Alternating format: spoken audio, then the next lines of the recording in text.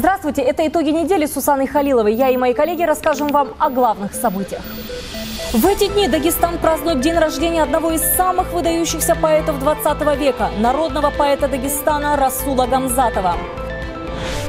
Счастливые лица и приятная усталость. Из святых мест домой возвращаются первые паломники.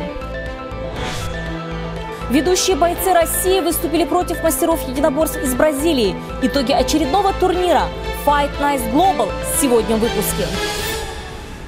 В Дагестане стартовали гамзатовские дни «Белые журавли». Мероприятие проходит ежегодно в день рождения поэта Расула Гамзатова. С самого начала празднования в Махачкале собрались лучшие поэты и писатели России и других государств. О том, как это все проходило, расскажет наш корреспондент Зубруд Гамидова.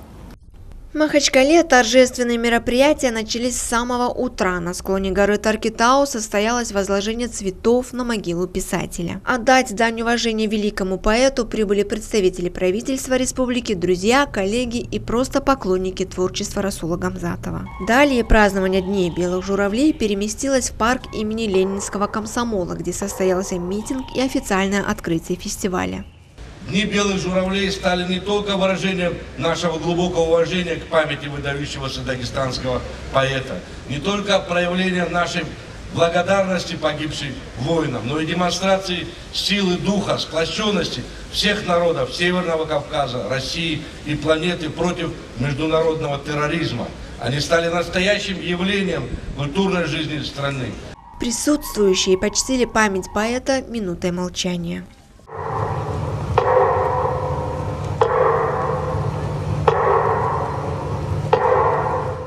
Своими воспоминаниями о поэте, о знакомстве с его творчеством на митинге поделились многие участники мероприятия. Председатель Союза писателей Республики Магомед Ахмедов отметил, что в Дагестане и за его пределами творчество Расула Гамзатова всегда будут высоко ценить.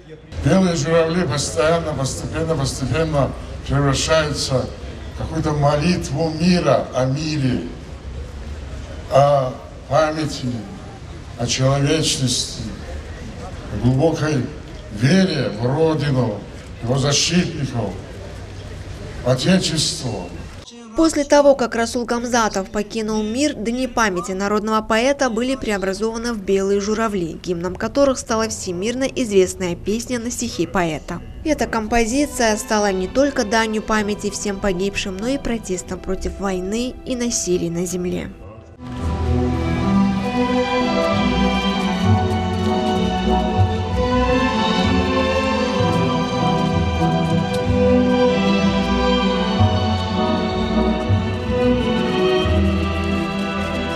Зумруд Гамидова, Магомед Магомедов, телеканал ННТ, Махачкала. Жители поселка Редукторный жалуются на отсутствие светофоров и плохую работу. Населенный пункт уже не назвать окраиной, ведь здесь много новостроек и новый детский сад. Переходить дорогу становится невозможным, рассказывают жители. Порой не обходится и без жертв. Жалобы жителей выслушала Ума Ибрагимова.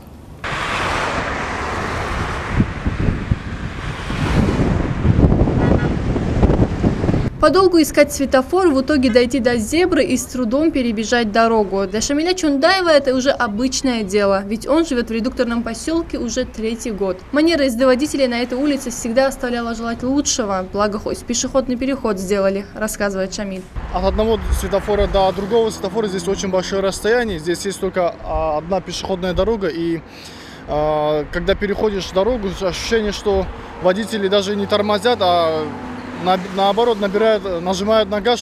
Дети, за них родители беспокоятся больше всего. Если в детский сад и школу они ходят в сопровождении, то уследить за ними в другое время невозможно. Местные жители опасаются, что дети могут оказаться жертвами ДТП. Вот видите, женщина проходят, даже не останавливает никто. С ребенком женщина на руках проходит, никак не останавливает, никто не уступает нам дорогу.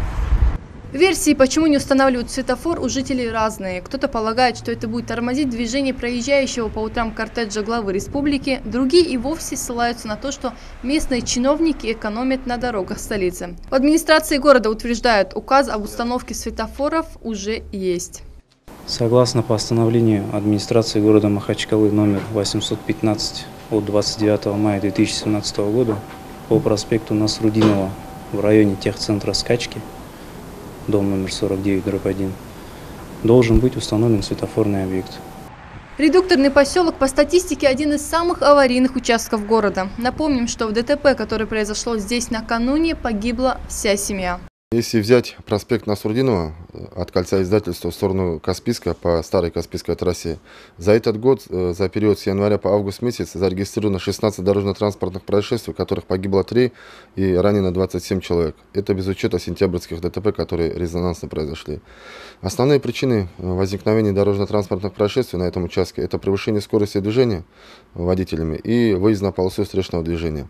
Проблема светофоров не только в редукторном поселке. На проспекте Акушинского, как и на многих других улицах, светофор есть, но времени, которое дается пешеходам, не хватает. Сейчас мы попробуем перейти дорогу.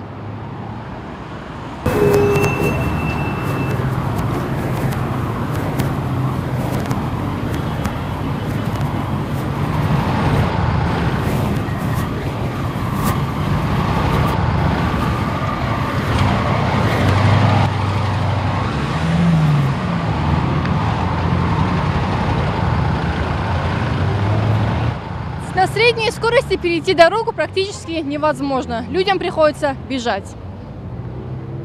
Перейти дорогу даже по пешеходному переходу в Дагестане – большая проблема. Водители не всегда останавливают, как это положено по правилам дорожного движения. Автомобилист обязан уступить дорогу переходящим улицу и даже тем, кто едва вступил на проезжую часть. Ума Ибрагимова, Нурмагомед Магомедов, телеканал ННТ, Махачкала.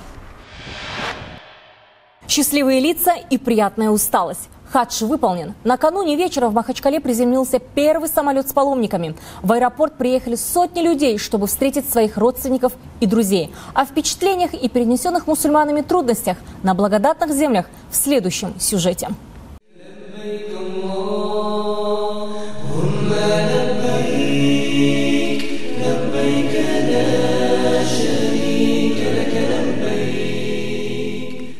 Миллионы людей вокруг, тысячи километров дорог, сотни достопримечательностей и десятки религиозных обрядов. Все это преодолели и повидали прибывшие паломники. В их глазах светится счастье и удовлетворение.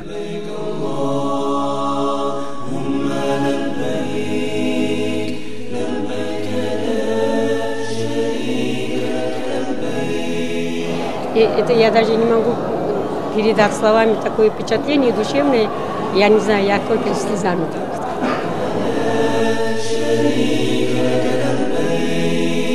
величественное ощущение, как будто бы я попал в другой мир, как будто бы. Вот, ощущение, как будто вот, сверхчеловеческое ощущение такое, что невозможно выразить это все. Это надо посетить, это нужно побывать. В этом году одновременно совершили хадж свыше трех миллионов верующих. Святые земли Мекки и Медины приняли у себя бедных и богатых, знаменитых и безвестных, людей разных слоев населения. И все они покорно предстали перед Господом.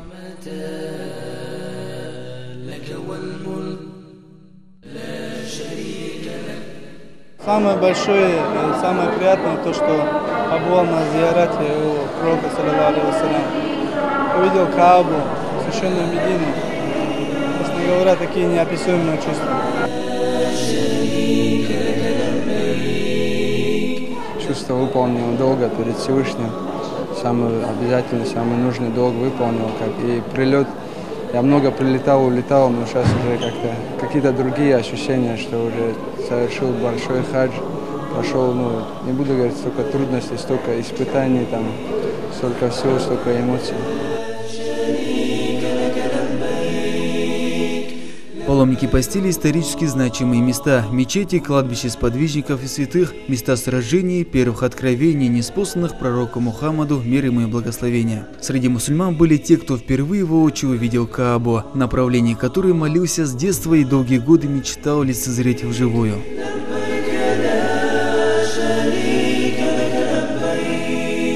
У меня уже было такое состояние, что да, как бы стоишь прям внутри, внутри все тебя распирает, и ты говоришь хвала Аллаху. Я здесь стою, потому что я твой раб, шалла. И вот, вот это все вот, внутреннее состояние, как будто тебя самого не хватает.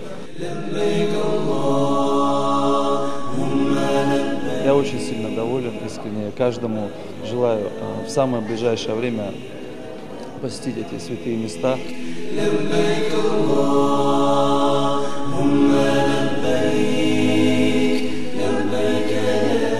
Желаю нашим паломникам в первую очередь, чтобы Аллах принял их хадж.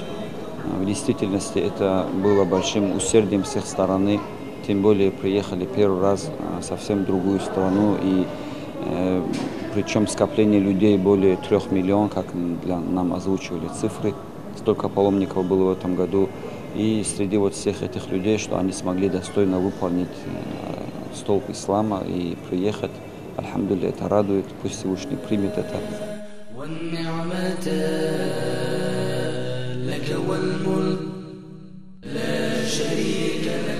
Туркомпания «Марватур» взяла на себя все организационные работы. В этом году для выполнения пятого столпа ислама на святые земли отправилось более 6 тысяч дагестанцев. Первым рейсом вернулось около 250 человек. К их именам теперь с честью можно прибавить слово «хаджи».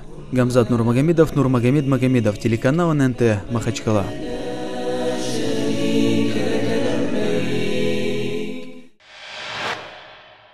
Ведущие бойцы России против мастеров единоборств из Бразилии. Компания Fight Nice Global провела турнир в Дагестане. В рамках бойцовского шоу зрители увидели 12 поединков по правилам ММА.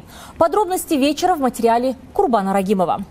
В Каспийском дворце спорта имени Али Алиева по традиции яблоку негде упасть. Очередное шоу Fight Night собрало около 8 тысяч зрителей. Особое внимание фанатов было приковано к основным боям вечера. Турнир возглавило противостояние бойцовских школ Дагестана и Бразилии. Победителю первенства Европы по вольной борьбе Шамилю Амирову противостоял мастер бразильского джиу-джитсу Русимар Пальхарес. Начало боя осталось за каспичанином. Именно он и диктовал ход поединка. Однако во втором отрезке опытнейший Пальхарес выровнял положение и, казалось бы, перехватил инициативу. Но показав несгибаемую силу воли, местный боец, которого поддерживали родные стены, выбирался из непростых положений и проводил броски.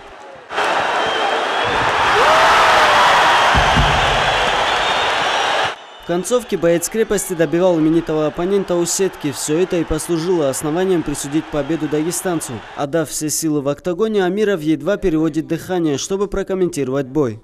Слышал, что кричали «Шамиль, Шамиль». Это меня вдохновляло, это мне помогало держаться на ногах. После второго раунда я, в принципе, уже устал. У меня были проблемы со здоровьем до этого. И мне даже говорили снимись с боя, но как-то вот я не решился, я хотел провести этот бой у себя дома. Я все-таки рискнул и спасибо всем, кто пришел и поболел за меня, поддержал меня. В споре за титул Fight Nights в полутяжелом весе столкнулись Курбан Амаров и Фабио Мальдонадо. Выдержав стартовый штурм от дагестанского бойца, матерый Мальдонадо сумел перевести поединок в партер и провести удушающий прием. Я был готов на все, чтобы победить. Я мечтал стать чемпионом с самого детства. У меня нелегкая судьба, нет отца и матери. Сегодня самый счастливый день моей жизни.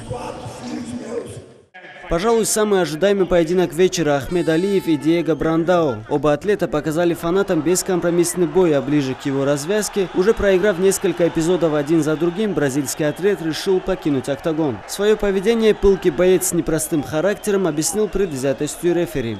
В связи с тем, что соперник покинул октагон, это рассматривается как отказ от боя. Unable to continue the fight with opponent, your winner by tactical knockout, победу тактическим нокаутом, Ахмед Алиев! На итоговой пресс-конференции бойцы делились эмоциями от проведенных боев. Фанаты и журналисты задавали вопросы. В свою очередь президент Fight Nights Камил Гаджиев заверил, что идея провести один из следующих турниров на Анжи-арене всерьез рассматривается руководством промоушена. Курбан Рагимов, Нурмагомед Магомедов, телеканал ННТ, Каспийск. На этом наш выпуск подошел к концу. Я прощаюсь с вами. До новых встреч.